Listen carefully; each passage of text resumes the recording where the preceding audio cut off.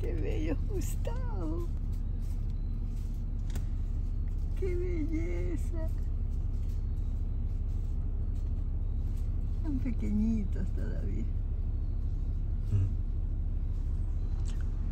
Saluda, Y se queda mirando. mami.